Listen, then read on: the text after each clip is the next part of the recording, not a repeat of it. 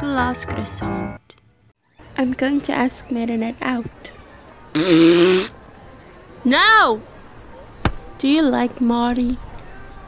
Oh, no way, she's just a friend. Then why did you say no?